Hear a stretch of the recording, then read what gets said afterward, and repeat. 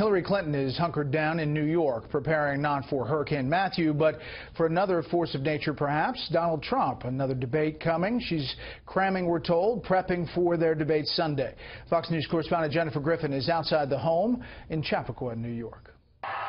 Facing criticism that her campaign was capitalizing off the coming storm in Florida, the Clinton campaign postponed a scheduled ad buy on the Weather Channel after a former spokesman for Florida Governor Jeb Bush tweeted, quote, this is a colossally huge and unforced error by the Clinton camp, insensitive and will piss off Floridians. The campaign downplayed the move, arguing ad changes were made earlier this week and, quote, less than 1% of those changes included the Weather Channel. Hillary Clinton took time out from debate prep to attend a fundraiser in Manhattan, but otherwise she is taking two days off the trail to prepare, and in her absence she has some high-level surrogates helping fill the void. Bernie Sanders is holding four events across Michigan today targeting millennials. Thank you, brothers and sisters. Which polls show remain skeptical of Clinton. Her running mate Tim Kaine headed to Las Vegas to campaign and spoke with reporters in Philadelphia about a new ad also filling the void while Clinton is off the trail. It appeals to families using home movie footage. How do we measure greatness in America? The height of our skyscrapers? The size of our bank accounts?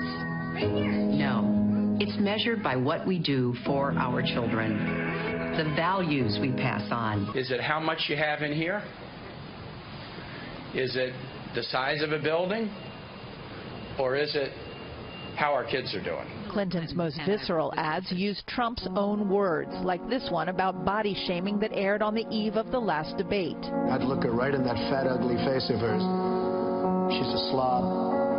She ate like a pig. Today, the campaign released a digital ad focusing on African American voters, starring the cast of the popular television show Empire. What will we tell the future generation? Trayvon Martin, Sandra Bland, Freddie Gray, Philando Castile.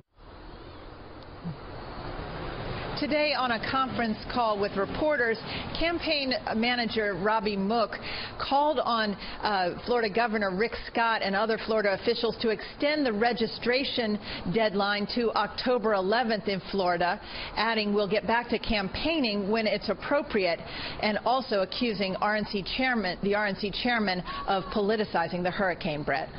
We'll see what happens. Obviously, the governor's dealing with a lot of things. Jennifer Griffin live with the Clinton campaign. Jennifer, thank you.